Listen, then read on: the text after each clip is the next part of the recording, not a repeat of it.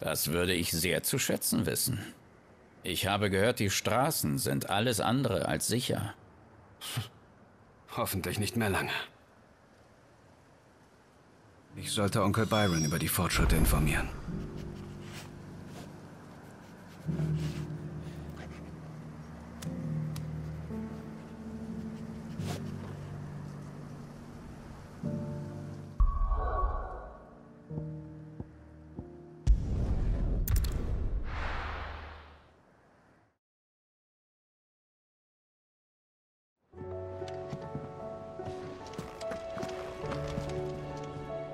Onkel, gute Nachrichten.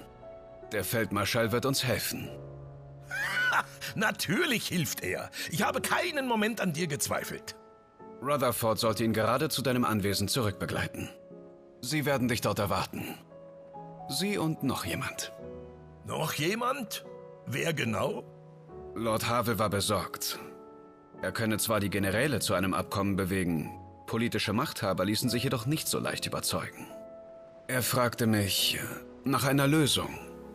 Und ich schlug ihm einen gewissen Justizbeamten vor, der Befreier wurde. Ist das einer deiner Mitverschwörer? Quinton würde mich wohl einen der Seinen nennen, aber ja. Noch ein Geächteter also. Genau, was wir brauchen, um diese verkommenen Politiker zurechtzuweisen. Gute Idee, Clive. Schön, dass du das so siehst. Je mehr, desto besser, hä? Onkel.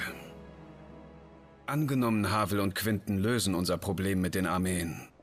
Du hast nicht gesagt, was wir wegen der Getreideknappheit machen. Oh, keine Sorge, mein Junge. Die sieben hohen Häuser kümmern sich darum. Sie alle versprachen bereits großzügige Spenden. Natürlich brauchte es ein wenig Überredungskunst. Doch zum Glück hatte ich unerwartete Hilfe. Von wem? Es heißt, du hättest Lady Arians Haushofmeister Rockford gerettet. Vor einer Horde blutrünstiger Banditen. Es war eher eine Handvoll. Nun, die alte Dame war so angetan, dass sie eine Schiffsladung Goldbarren an meine privaten Docks liefern ließ. Und als die anderen Häuser sahen, dass das gute Fräulein nicht mehr auf seinem Geldbeutel saß, haben alle nachgezogen, weil niemand der Letzte sein wollte. Das hört man gern. So, jetzt muss ich zu meinem Anwesen. Triff uns dort so bald wie möglich, ja? Natürlich, Onkel.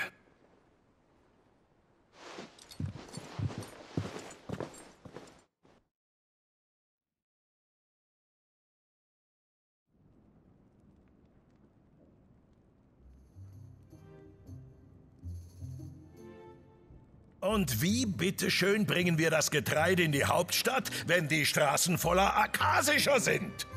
Über eine andere verdammte Straße! Ich habe nur wenige Männer und die schicke ich nicht einfach in eine Ätherflut!